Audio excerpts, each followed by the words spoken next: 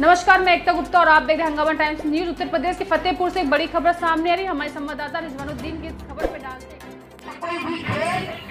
UP के फतेहपुर ज़िले में आज स्पोर्ट्स स्टेडियम में सांसद खेल प्रतिस्पर्धा प्रतियोगिता के आयोजन पर गैस का गुब्बारा फटने से चार बच्चे झुलसने से हड़कम मच गया। झुलसे बच्चों को आनंद फानंद जिला अस्पताल में लाकर भर्ती कराया गया। जहाँ डॉक्टरों ने झुलसे बच्चों को भर्ती कर इलाज कराया, वहीं गैस के गुब्बारे को फटते हुए देखते हुए वीडियो कैमरे में कैद हो गया। वहीं केंद्रीय मंत्री के सामने हुई इस घटना के बाद जहाँ बच्चों में दहशत देखी गई, वहीं बच्चों की माने तो वह आज सांसद खेल स्पर्धा प्रतियोगिता में सम्मिलित होने आए थे। जहाँ केंद्रीय मंत्री साध्वी निरंजन ज्योति द्वारा आकाश में गैस के गुब्बारे को छोड़ा गया, तभी बच्चों के हाथों में एक दर्जन से अधिक गुब्बारों का गुत्था अचानक आकाश में उड़ने लगा। वहीं ज़मीन में ही फट गया।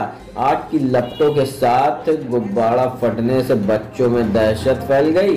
वहीं साध्वी निरंजन ज्योति ने कहा कि गुब्बारे आकाश में छोड़े गए थे, लेकिन बच्चे उसे फोड़ने का प्रयास कर रहे थे, जिससे विस्फोट हो गया। वहीं डॉक्टर द्वारा बताया गया कि चारों बच्चों का इलाज किया जा रहा है। बच्चे मामूली रूप से झुलस गए। हंगामा टाइम्स ब्यूरो।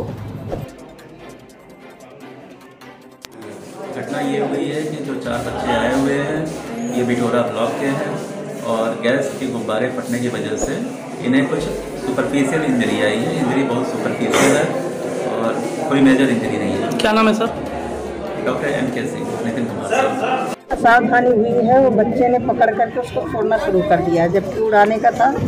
मैं जिसको छोड़ रही थी वो तो मेरा चला गया लेकिन कोई और पकड़े था जो उसको छोड़ना चाहिए उसको नीचे नहीं करना चाहिए। और कोई भी घटना होती तो असावधानी से ही होती है। भेजा अभी तुरंत जिला पंचायत जिला पंचायत कार्यालय में जो है जैसे आज का कार्यक्रम जो मुख्यतः ग्रामीण क्षेत्र के बच्चों में आज प्रतिभा निखारने के लिए सरकार भी लगातार प्रयास करे, इन प्रयासों को किस तरह देखते हैं और जनपद फतेहपुर में जो छिपी टैलेंट है, उसको निखारने के लिए किस तरह क्रीड़ा विभाग प्रयास कर रहा है? ये सांसद खेल स्पर्धा का एक स्टेप है, जिसके माध्यम से हम ग्रामीण स्तर तक पहुँच के जो हिडन टैलेंट था, उसको सर्च करके मुख्यालय स्तर पे ले आए हैं और इसी क्रम में भविष्य में जो योजनाएँ होंगी कि मुख्यालय स्तर से प्रदेश स्तर पे बच्चे प्रतिभाग करें, प्रदेश से राष्ट्रीय स्तर पर प्रतिभाग करें तो जब भी इस तरीके का आयोजन होगा तो ज़रूर यहाँ पे बच्चे प्रतिभाग करेंगे जैसे कि यहाँ पर जो मेडिकल की एक अभी हादसा होते होते रह गया बच्चा घायल हो गया था किस तरह से जो मेडिकल की सुविधाएँ नहीं रही हैं क्या कहना चाहेंगे? क्या कहीं ना कहीं चूक हुई किस तरह से? मेडिकल की सुविधाएँ थी लेकिन वो थोड़ा सा डिले हो गया और उन बच्चों को तुरंत डिस्ट्रिक्ट हॉस्पिटल में पहुँचाया गया एंबुलेंस के माध्यम से। साथ में यहाँ जो प्रशिक्षक भी गए उनको थोड़ा सा चोट आई है ऐसा कोई बहुत बड़ा वो नहीं हुआ। किस तरह से जो चोट आई हो कितनी गंभीर है किस क्या अभी तक किसी अधिकारी ने क्योंकि जब उसका हादसा हुआ तो उसको मेडिकल के लिए गाड़ी पे लेके गया तो पहिया पे लेके गए हैं हमारे पास जो थी उसके तहत हम लोगों ने उनको फ़र्स्ट एड दिया और उसके बाद मेडिकल टीम उनको लेके गई। क्या जो, जो ये चूक हुई उसको किस तरह देखते हैं कि कि कहीं ना कहीं प्रशासन से चूक होगी आप लोगों से चूक हुई? नहीं हम लोगों ने सारे पुख्ता इंतज़ाम किए थे लेकिन यहाँ पे डॉक्टर टीम नहीं है ना? नहीं मेडिकल टीम यहाँ पे थी वो गेट से आते आते थोड़ा सा टाइम लग गया। हम लोगों ने यहाँ से बच्चों को उठा के वहाँ पहुँचा। घायल होने के बाद सब बच्चे मोटरसाइकिल से गए इसमें किसकी लापरवाही? किसकी लापरवाही? नहीं, लापरवाही की बात जहाँ तक आप कर रहे हैं ऐसा हम लोगों ने पूरा पुख्ता इंतज़ाम किया था। बस समय का थोड़ा सा हेर फेर हो गया है। किसको किसको जिम्मेदार समझेंगे?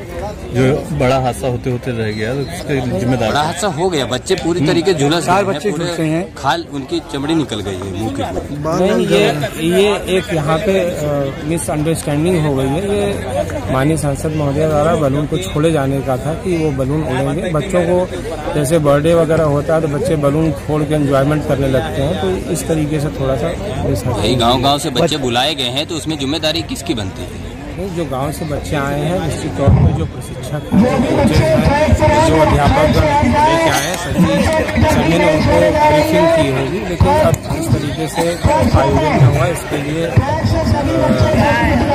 ये अनसर्टिनिटी है। कितने बच्चे हैं कुल यहाँ पे? आज के इस आयोजन में छह सौ बच्चे प्रतिभाग कर रहे हैं पूरे जनपद से।